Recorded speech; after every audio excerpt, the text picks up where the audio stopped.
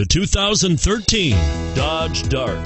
The Dodge Dart was introduced as a lower priced, shorter wheelbase, full size Dodge in 1960 and 1961, became a mid-size car for 1962, and finally was a compact from 1963 to 1976. Chrysler had previously applied the Dart name to the Ghia built show car in 1956 and is priced below $25,000. This vehicle has less than 100 miles. Here are some of this vehicle's great options stability control, anti lock braking system, traction control, air conditioning, adjustable steering wheel, power steering, four wheel disc brakes floor mats, keyless entry, rear defrost. Your new ride is just a phone call away.